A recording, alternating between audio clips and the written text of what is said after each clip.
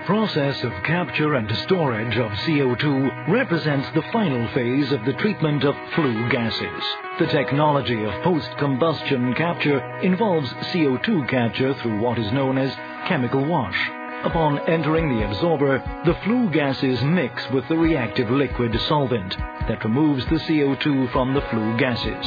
The flue gases are conveyed to the chimney and the mixture containing CO2 passes through the stripper, where the CO2 is separated from the solvent. Once separated, the CO2 is ready to be transported and stored, while the solvent is recovered in order to be used again in the absorption process.